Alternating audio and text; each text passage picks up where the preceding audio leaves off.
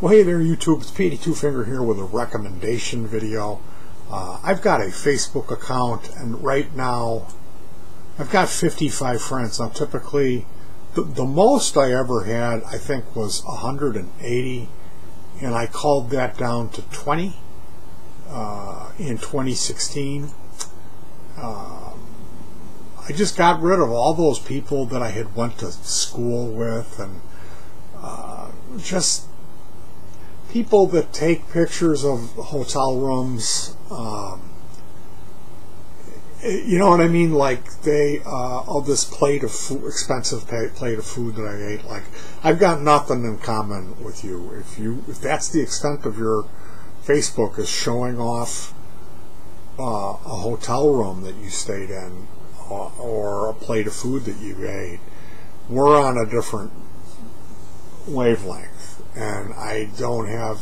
You're never going to come into uh, my world and say, "Gee, that's interesting. What is that that you're you?" Are, and I would say, "Oh, that's a circuit that I built because I like to make music." Blah blah blah blah blah. And even in like finding like pedal builders, people who own companies, there's to me there's two types of, of Facebook person. There's these people who like maybe they run a music blog, like a progressive, like prog rock music blog, and they they're on some kind of like power trip where they've got like 250 people that hang on their every word. They're posting constantly from a phone. Everything that they post, they don't doesn't require any effort. It's just like maybe they'll move some stuff around and set up like if they're going to show their the book, the novel that they'll they're reading. They'll have some Miles Davis CDs out, and they'll have some uh, collectibles. You know, Star Trek, whatever it is that makes them, you know, Blade Runner guy with a overcoat on, Matrix, whatever uh, nerd, you know, I'm a nerd, look at me. And those types of people are great, but they tend to, they never come out and slum it. They don't ever go out into their fans, the people that, like, when they, if they defecate and they take a picture of that excrement, people that they get, they get 65 hearts saying, oh, oh my goodness, that's the best feces I've ever seen. These people, they, it might, might be good for them to do that from time to time, is to, step out and slum it, meaning if you break out of your own cocoon and you start looking at what other people share, you find some cool stuff. So it's not so much selfish, it's rewarding. Uh, so that's kind of how I play my Facebook game. I like to find people who uh, will maybe, there's a chance that they're going to comment occasionally on what I might be have posted, but it's it's rare. It's really rare. Uh, as probably people look at me like I'm out of my mind because I'm constantly taking pictures of what that that's to me what I get excited about is if I'm working on something and I finish it, I'm like, let me take a picture of that and save that to have my life, my work. Uh, to have it somewhere, have it stored, a, a record of what I did. So that's how I play that game. And one of the people I recently friended is a guy by the name of Analog Man Mike Piera. And he's, uh, if you look him up, he's he's a businessman, and I think he's written uh, an analog man Mike he's a fairly well-known guy in the uh, pedal boutique pedal industry. So here we go to buyanalogman.com. This is like his store. And we see uh, who who are we?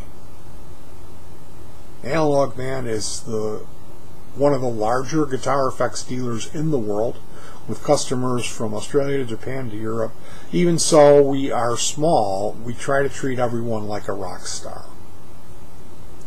Buy Analog Man, but Analog Man is not just a dealer, it's a brand, quite unique.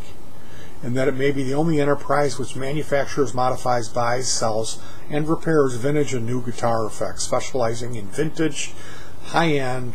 Uh, you won't find cheap Taiwanese Happy Meal toy style effects here. Analog Mike has been playing with guitar effects since he brought his Maestro phaser in the mid 70s to make his Farfisa organs and Hagstrom 2 sound better. You will see the same white Hagstrom in the shop, still being used to test modified pedals. So yeah, Analog Man, he has an internet presence. He's involved in buying and selling vintage effects, buying and selling boutique and custom effects. He manufactures his Analog Man brand of effects. He modifies pedals to sound and work better. Repair service, including specialists in different uh, referrals to specialists in different areas, creating the best new effects with vintage values, free help with effects problems by email, or better yet, in our forum. He's got a forum. Referrals to individuals and companies related to guitars or music, professional consultation and technical services on the Northeast. So analogman.com uh, you can friend him on uh, on Facebook, and he he does a live stream. He's got a music area that he calls Madison Square Basement. I think he's in Madison, Wisconsin. Maybe I'm not. I'm not sure. Uh, I should look into that. Now, today, Analog Man. I you keep hearing about this guy as being around in the pedal community. And you keep hearing someone who calls himself Analog Man. To me, it's annoying. I'm just going to be honest. Like anybody who like makes a big deal about analog, to me, is inferring that digital is bad, and I hate that. To me, that's snobbery. This guy's not really like that. I think anybody that's worth their salt in the guitar game is going to really they're going to come clean and tell you hey the digital is getting better and it has its place and, it, and a matter of fact we live in a digital world where everything is mastered to digital. It's a fact of life. It's not so much of a compromise as it used to be. Yes it used to be that a lot of the stuff that was out there that was marketed uh, fell short. Now not so much. Now the stuff's catching up and it sounds great. Uh, but there still is this thing that you can't get with digital.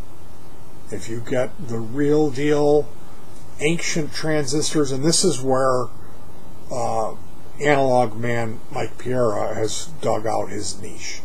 This guy knows from experience. He's experienced and he he's sought these uh, rare components out and played around with them. And so that's what you see with Analog Man.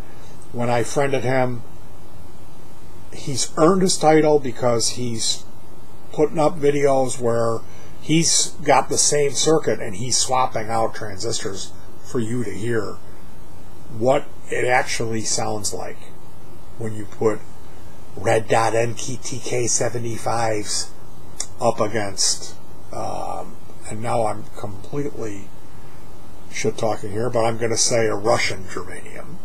And I'm sure I'm wrong. He probably doesn't like to play around with Russian germaniums. This guy's uh, a little bit on the next tier. So that's who this guy is.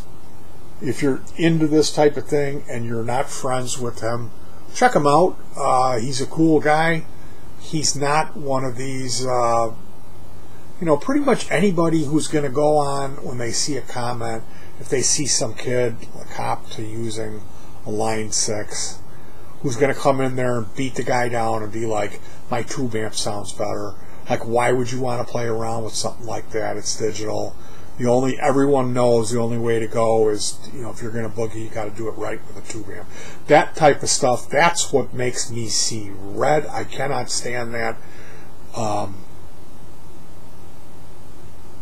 and for one, the, the people who are uh, uh, using digital, they're not going anytime they see anybody mention a tube amp saying, "Ha, you got three, maybe four sounds out of your whole rig." I got 200 presets and they're all full of custom patches, and every one sounds completely different. So uh, yeah, you just don't see it kind of working the other way because it's it's it's not as hip because of the perception of the community, and that's my own personal battle that I fight every day when I'm online is trying to shift that perception that hey, it's not nothing to be ashamed of if you're not playing through a massive tube rig, because for one, they're unbelievably inefficient they create so much amount of heat. Um, they're they're really limited in what they do, uh, and for the final nail in the coffin is that the digital now can copy that really well. It's not 100% yes, but it, but it's close, and in some cases it is. The only thing they're lacking is the the feel, and there's ways to get to get that to achieve that as well. So I don't see it so cut and dry, and I don't appreciate when people act like it is, because most often they're speaking out of ignorance. Now that I've gotten that out of the way, and if you're if you're new here, you're a tube amp aficionado, we can be friends. That's fine. Just understand that I live in an apartment I own tube gear, but I can't crank it up here because the cops, the police will come and kick the door down. I've had my door kicked in before for playing guitar too loud. It's happened. I had the whole door frame kicked out. Okay, and it's not. It's a. It's not a good feeling. It's a very, very bad feeling. Okay, so the decision to switch over and be a responsible tenant and use headphones and use modeling that's put me on a road building class D amps and making music outdoors and all the stuff that I do to to compensate for that, to be able to do it, to be able to push air.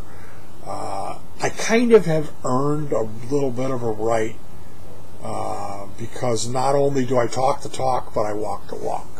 And that's evident you get to know me through this YouTube channel and all of the work that I've done, which is building powered speakers Class D amps um, using seal lead acid batteries or recycled lithium ion 18650 cell batteries like what's in this.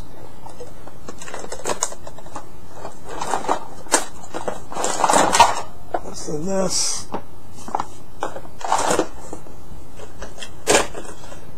What's in this? And many, many, many more. Now, today, Mike Analog Man shared a link. Oh, I was actually like yesterday or the day before. Um, this is really what I what I wanted to talk about, but I, I, I'm I'm just very passionate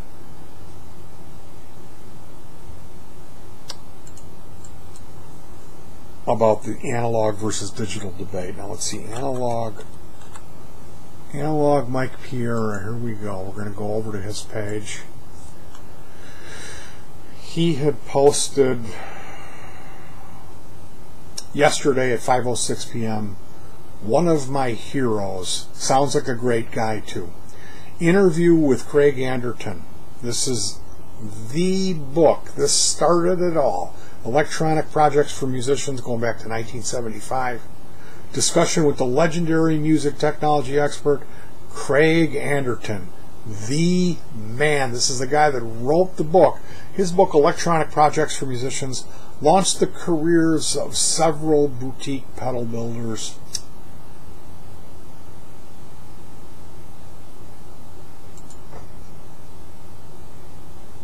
So, yeah, uh, I'm going to turn you on to this podcast, this interview. It, uh, it's analog man Mike Piera shared this, so a big thanks going out to him. I wish him nothing but success. I kind of had the wrong idea of, of, analog man Mike. There's some people that do uh, they they uh, charge you to modify um, pedals. And I've seen some pricing that I just don't agree with. I don't think it's worth what certain people are charging to do these jobs. I think it's highway robbery. And, but then again, I don't understand about things like overhead in a business. Well, that being said, um, if you need a pedal mod, I'm not going to do it for you. Okay? Let me get that out there right away. I don't, there's no money going on with me making money off people because I don't have what it takes. I can't look you in the eye and say, I'm going to charge you 60 bucks to mod your pedal. I can't do that. I don't, I don't have the uh, clientele. The people that I know, they're like, you build me a pedal and I'll pay you 30. That's the people that I know. These are everyday working musicians. These are people that have bills to pay. They simply can't afford it. So, Analog Mike, I think he's more or less the real deal guy. I went looking on his thing.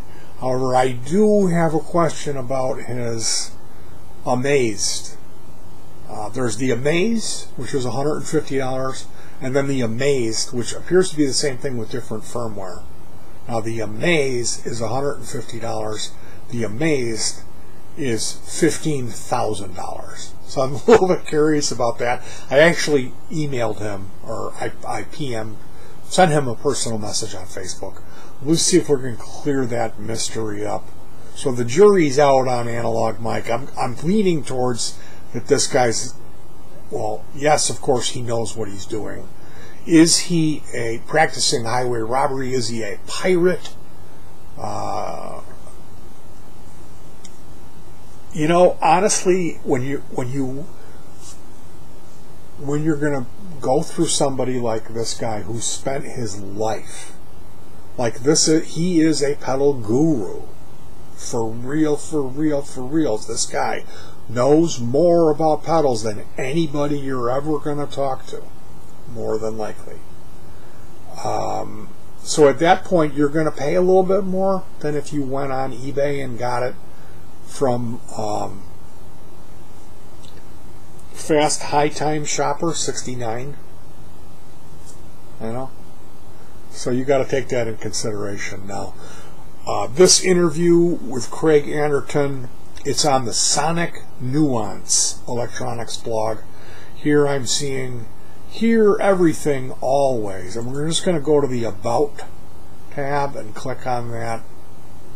Uh, the guy who interviews Craig Anderton. Hello, my name is, name is Ted Burmus. And I'm the guy. Uh, he's into music and live sound, and he has this company. And here he is riding a bicycle. Here he is, looks like playing some sort of a elaborate bass. Is he bowing that device? Yes, and he's got some type of an effect on a stand. Multiple. Oh, maybe those aren't effects. Maybe that's like a uh, a worship team monitor device. So right on this, um, this might be a cool blog, sonicnuance.com. I'm going to go ahead and give them the thumbs up.